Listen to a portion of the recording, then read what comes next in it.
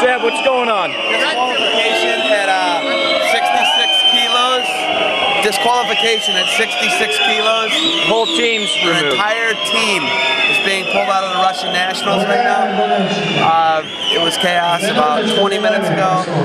There was a uh, bottles being thrown. An official got punched. And this guy is talking now. So get him. Get him. He's talking to those Я хочу сказать, he? самая дружная, самая сплотившаяся, самая сильная команда сборной России, которая выступает на мировой арене.